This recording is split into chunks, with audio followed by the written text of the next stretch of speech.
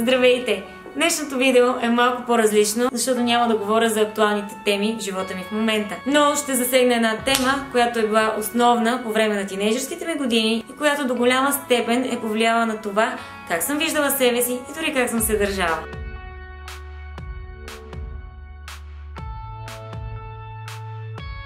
Сутринта се събудих и реших да си прегледам стари съобщения и попаднах на едно много интересно съобщение, което всъщност вдъхнови цялото това видео. Съобщението гласи следното.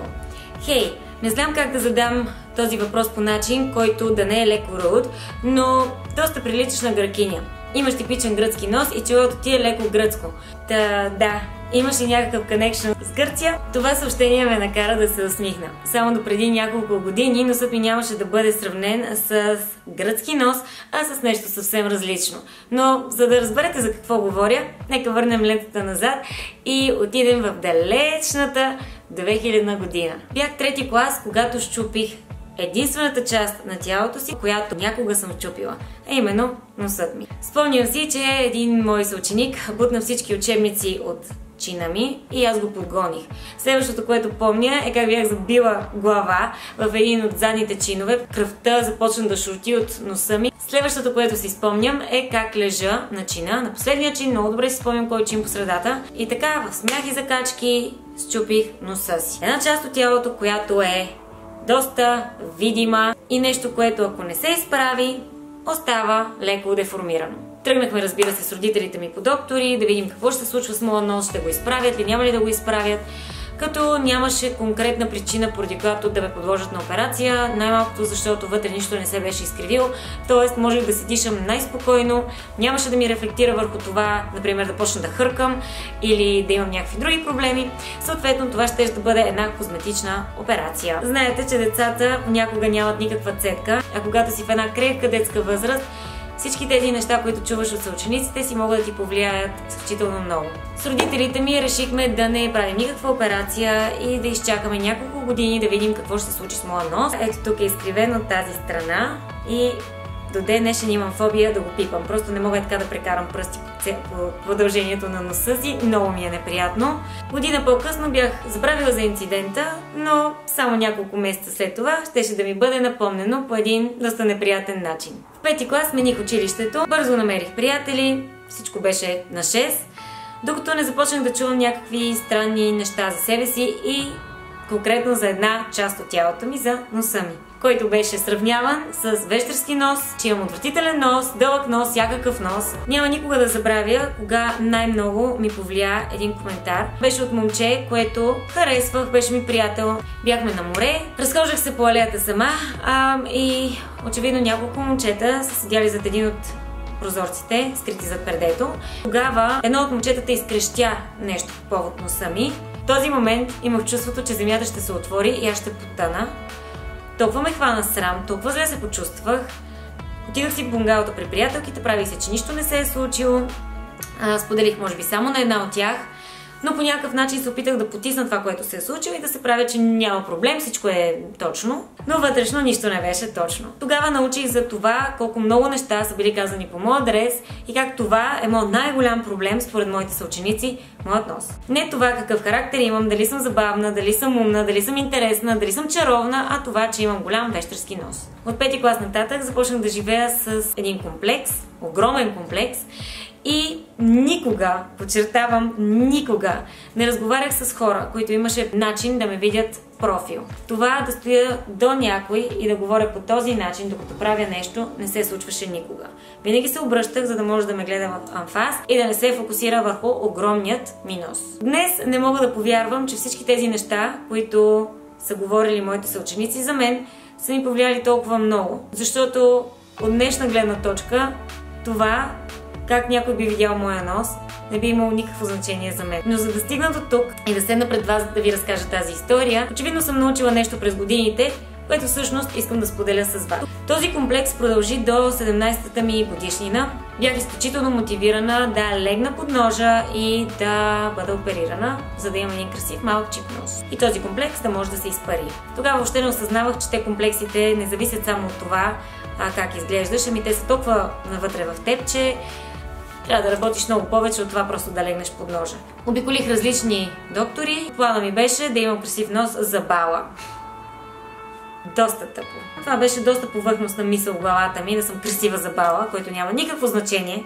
Всички от вас, на които им предстои бал, моля ви, не се вглъбявайте толкова много, защото наистина 10 години по-късно, а няма никакво значение.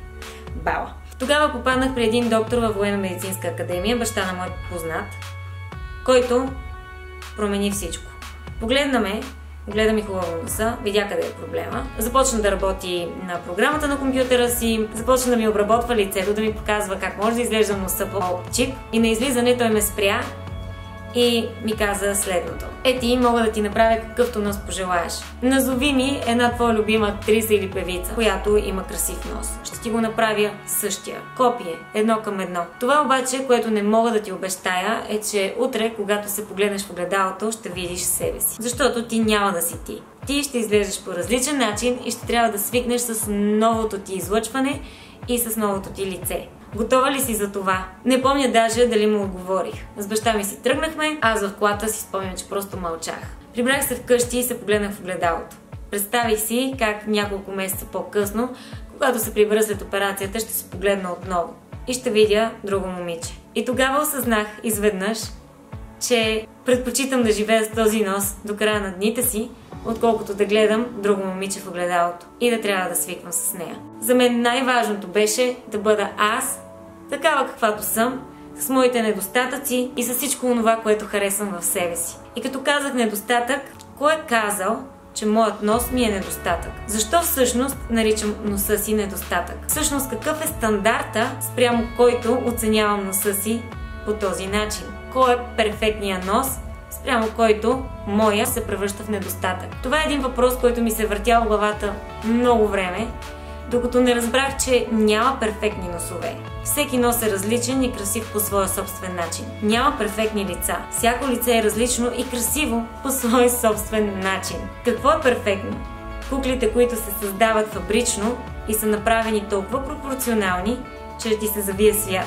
Не знам дори дали съществува лице, което да е на 100% пропорционално. Днес се приемам и се харесвам такава каквато съм. Моето послание към вас е приемете се със своите недостатъци и си дайте шанс да се заобичате такива каквито сте. Защото само когато се видите в огледалото и спрете да се критикувате, а напротив, прегърнете всяка една част и отвътре, и отвън, с отворени обятия и си кажете аз съм красива, или аз съм красив, само тогава и хората ще започнат да ми виждат така. Днес носът ми е определен като гръцки. Преди 15 години беше като на вещица. Въпреки, че в четвърти клас се бях примирила с станалото, не го бях приела напълно, защото знаех, че носът ми може да изглежда по друг начин. И точно заради това, когато смених училището и когато новите ми съученици ме видяха, са усетили със сигурност моята несигурност. И точно защото вече живеех с мисълта, че един ден ще си направя операция. Акцентирах върху него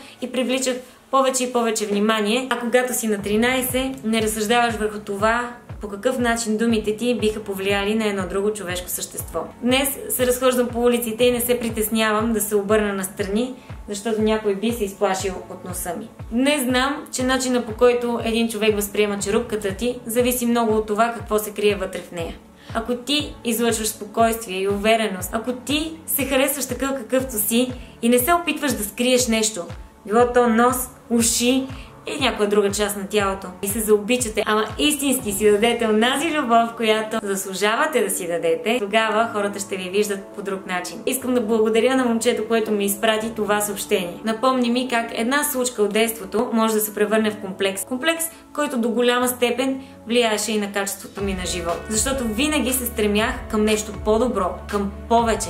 Вярвах, че ако направя операция, ще се харесвам, ще бъда красива, ще бъда това момиче, което винаги съм искала да бъда. В стремежа си да стана нещо, което не съм, със сигурност съм изпуснала много. Много възможности, много приятелства, дори някое друго гадже. С днешното видео искам да ви се усмихна и да ви кажа колко сте красиви. Нямате недостатъци, имате уникалности. И с тези уникалности сте това, което сте. Просто бъдете. И напукна всички, ходете с високо дигната глава, защото вие сте единствени такива каквито сте. И това е нещо, което никой не може да ви отнеме. Горе главата и до скоро! Чао!